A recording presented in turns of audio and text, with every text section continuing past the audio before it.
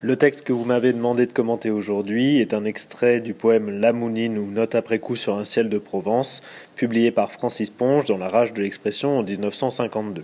Il s'agit du dernier poème du recueil, poème dans lequel Ponge va essayer de dévoiler, reproduire l'émotion esthétique qu'il a vécue face à un lever de soleil alors qu'il était dans un autobus en Provence. Conformément à l'intégralité des poèmes du recueil, La Mounine est caractérisée par une écriture extrêmement répétitive qui va mettre en scène la transcription difficile de l'émotion, une écriture qui serait comparée, le mot est dans le texte, à une conquête.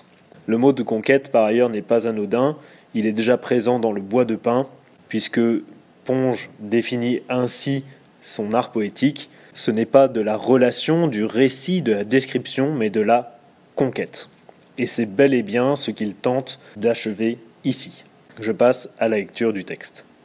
12 au 13 mai. Je n'arriverai pas à conquérir ce paysage, ce ciel de Provence Ce serait trop fort. Que de mal il me donne. Par moments, il me semble que je ne l'ai pas assez vu, et je me dis qu'il faudrait que j'y retourne, comme un paysagiste revient à son motif à plusieurs reprises. Pourtant, il s'agit de quelque chose de simple. Au lieu dit La Mounine, entre Marseille et Aix, un matin d'avril vers 8 heures, à travers les vitres de l'autobus, eh bien, qu'ai-je? Je ne parviens pas à continuer.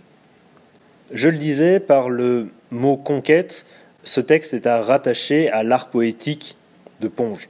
Il s'agit ici de dévoiler l'objet du poème, à savoir l'émotion esthétique éprouvée à la mounine, de la manière la plus objective possible. Simplement, cette objectivité est un véritable travail, au sens étymologique du terme. La production en est difficile et occasionne un certain nombre de souffrances. En cela, nous pouvons nous poser la question suivante dans quelle mesure peut-on parler ici d'un travail poétique? Pour traiter cette question, je déploierai mon commentaire en trois parties.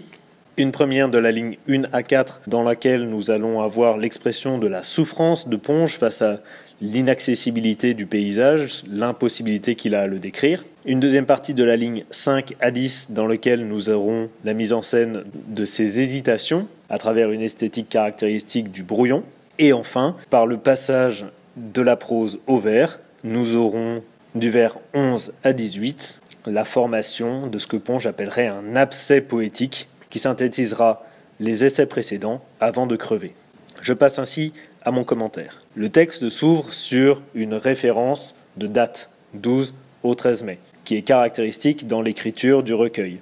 Cette double date inscrit immédiatement le texte dans une temporalité longue, ce n'est pas un jour mais deux, une temporalité nocturne, puisque entre le 12 et le 13, il y a la nuit, et aussi dans une temporalité transitoire. On passe d'un jour à l'autre.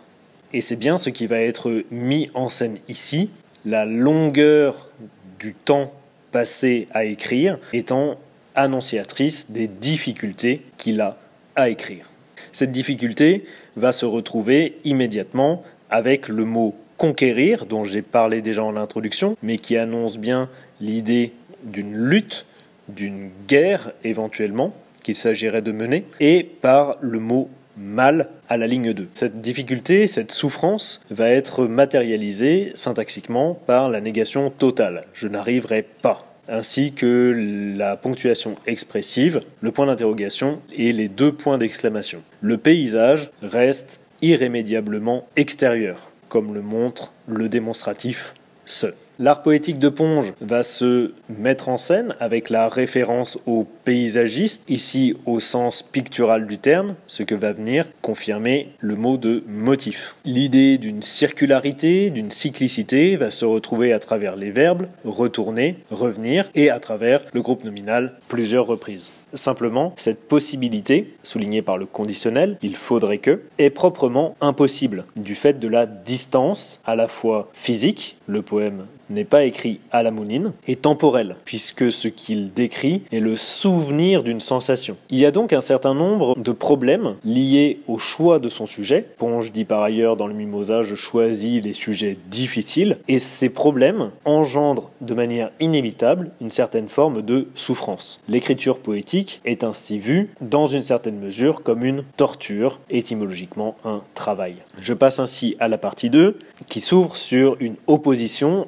simplicité et difficulté. Opposition qui va être marquée par le mot pourtant. Cette simplicité du sujet, qui est conforme à l'art poétique de Ponge, hein, il choisit toujours des sujets communs, se heurte à la difficulté qu'il a de sa transcription en poème. En particulier du fait de sa poématique qui vise à l'objectivité. Cette objectivité va se traduire dans la suite du texte par la caractérisation spatio-temporelle du souvenir. On retrouve des compléments circonstanciels de lieu, la mounine, entre Marseille et Aix, à travers les vitres de l'autobus, et des compléments circonstanciels de temps, un matin d'avril vers 8 heures. Simplement, cette caractérisation est irréductible, ce que va traduire la posiopèse, les points de suspension, et la réinjection dans la tentative d'objectivation d'une subjectivité qui va se manifester à travers le retour de la première personne, qu'ai-je, je ne parviens pas, à travers l'interrogation qui pourrait avoir une valeur rhétorique, et à travers le retour, comme à la ligne 1, de la négation totale.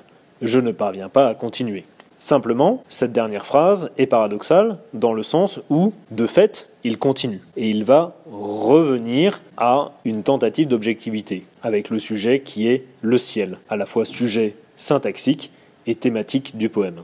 On note les parenthèses qui sont caractéristiques de l'écriture de Ponge, qui procède majoritairement par rectification continuelle de l'écriture. Simplement, il y a un intérêt particulier ici on ne sait pas ce qui est ajouté. Est-ce que ce sont les compléments circonstanciels, comme je levais les yeux vers la cime des arbres et quoi qu'il fût pur de tout nuage, que Ponge a ajouté Ou est-ce que il l'avait mis, mais que ce sont les parenthèses qui ont été ajoutées, comme s'il fallait enlever cette excroissance qui, pour le coup, apporte peu à l'émotion esthétique, de manière à condenser la relation et conquérir au mieux cette émotion. La référence picturale au paysagiste va venir être contrée par l'imparfait à l'aspect duratif, comme je levais les yeux vers la cime des arbres, là où le paysagiste capte un instant, lui, il veut réinjecter une temporalité, mais cet imparfait va être contré par le passé simple à l'aspect achevé, d'où l'interrogation sur l'ajout des parenthèses potentielles.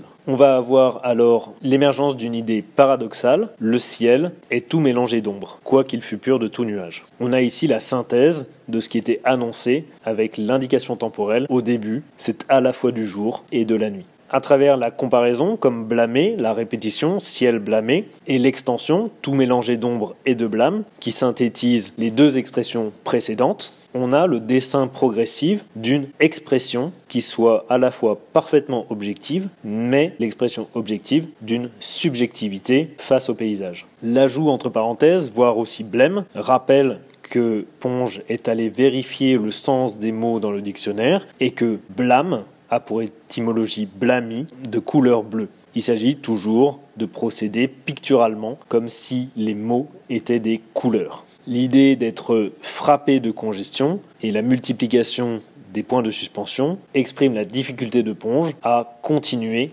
Ce qui congestionnait, c'est à la fois le ciel, mais aussi l'expression de ce ciel, comme s'il y avait une correspondance intrinsèque entre l'objet que je décris et la subjectivité qui le décrit. Cette correspondance, là encore, participe d'une souffrance du poète, comme le montre l'adjectif frappé. Je passe ainsi à la dernière partie, dans laquelle nous avons un changement majeur, était écrit en prose, ce qui est relativement classique dans le recueil. Et ici, nous allons passer au vers, ce qui est particulier. On aboutirait ainsi à ce qu'il appelle dans le bois de pin la formation d'un abcès poétique, à la fois excroissance, synthétique, mais aussi quelque chose qu'il lui faudra crever. Alors cette excroissance synthétique est proprement poétique dans le sens où elle va fonctionner, stylistiquement parlant, comme un condensé de tous les systèmes précédents. En effet, on retrouve des formations de parallélisme jour-nuit, jour-cendre, entre euh, l'idée de clarté et l'idée d'obscurité. L'idée de cendre pourrait résonner avec le fait que c'est un matin d'avril, donc peut-être un mercredi des cendres, c'est-à-dire l'ouverture du carême, une période ascétique. Ce parallélisme va se transformer en un chiasme, où on a clarté-obscurité, et dans le vers numéro 2, obscurité-clarté, ombre éclat. Ce passage du parallélisme au chiasme dans les vers 1 et 2 va se répéter et se synthétiser dans les vers 3 et 4, où on a en même temps parallélisme, ombre, éclat, ombre, éclat, et chiasme, avec le verbe tenir, qui est après les deux noms ou avant les deux noms.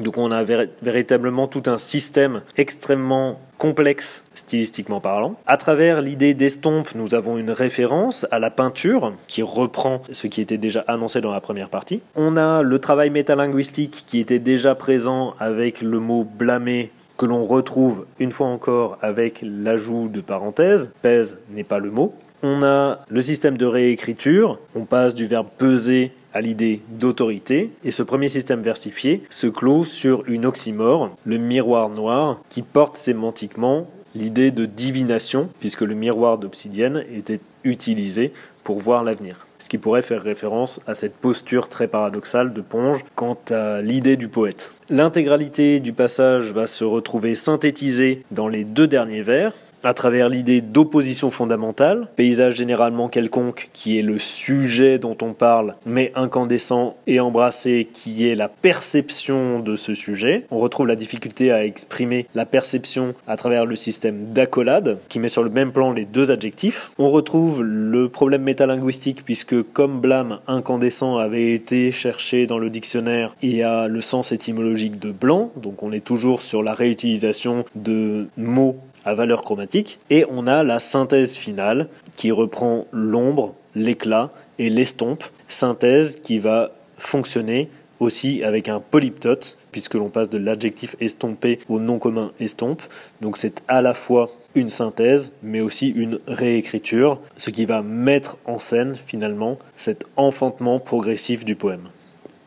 Dans quelle mesure peut-on parler d'un travail poétique? Alors tout d'abord, c'est un travail poétique au sens où ce texte met en scène un travail sur le langage, que ce soit par les répétitions, par les réécritures, par le polyptote final ou même tout simplement par les différentes références métalinguistiques. Ponge travaille le langage pour faire de son texte un objet poétique. Par ailleurs, ce travail poétique s'inscrit plus spécifiquement dans la poématique de Ponge par la référence filée au lien entre poésie et peinture, une équivalence qu'il revendique dès les notes prises pour un oiseau et qu'il met ici en pratique, notamment par le biais de l'utilisation des mots à valeur chromatique. De la même manière, nous pouvons noter dans ce texte des références à sa posture ambigu par rapport à la figure traditionnelle du poète, ce qui s'inscrit là encore dans sa poématique propre. Deuxième point, il s'agit d'un travail poétique, tout simplement parce que c'est un travail difficile. C'est un travail difficile physiquement, il lui donne du mal, mais aussi psychologiquement, puisque le texte fonctionne comme la mise en scène d'une obsession. Tout cela va se manifester à travers les différentes interventions directes du jeu, les aposiopèses ou même simplement le champ lexical de la souffrance. Enfin, il s'agit d'un travail poétique puisqu'il s'agit d'un enfantement progressif du poème, ce qui va être montré assez clairement par le passage au centre du texte, de la prose au vers. Ainsi, le texte met bien en scène la formation d'un abcès poétique, ou, comme Didier Alexandre le définit, d'un ABC poétique. Il s'agit à la fois d'un apprentissage de l'écriture, mais c'est aussi un apprentissage de la lecture qui nous est mis en scène, puisque l'extrait nous montre finalement la naissance d'un texte dont l'auteur et le lecteur sont également parents. Je passe ainsi à la question de grammaire. Vous m'avez demandé de traiter des propositions subordonnées conjonctives circonstancielles dans la phrase ligne 7 à 9. Les propositions subordonnées sont des groupes de mots organisés autour de verbes conjugués et introduits dans le cas des conjonctives par des conjonctions de subordination, c'est-à-dire des composés de que ou des mots qui peuvent aussi être interrogatifs. En l'occurrence, ici, nous avons deux propositions subordonnées qui sont détachées de la principale par un système de parenthèses, ce qui permet de les repérer facilement. Chacune s'organise autour d'un verbe conjugué, levé à l'imparfait pour la première et fut au subjonctif pour le deuxième. Chacune des deux est conformément à la définition introduite par une conjonction de subordination, comme pour la première, quoique pour la deuxième. Si le repérage de ces propositions subordonnées est assez facile et même facilité par l'ajout des parenthèses, l'élucidation de leur fonction syntaxique, pour le coup, est plus complexe et dépend du contexte. Comme introduit traditionnellement un complément circonstanciel de comparaison, et quoique introduit traditionnellement un complément circonstanciel de concession. Cependant, lorsque l'on considère le contexte et en particulier la proposition qui est introduite par ces conjonctions de subordination, on se rend compte que ces conjonctions ne sont pas utilisées dans un sens traditionnel justement. En effet, comme je levais les yeux vers la cime des arbres, ne fonctionne pas comme une comparaison, mais répond à la question quand fonctionnant ainsi comme un complément circonstanciel de temps. De la même manière, quoi qu'il fût pur de tout nuage, n'indique en aucun cas une consection, mais bien plutôt une opposition.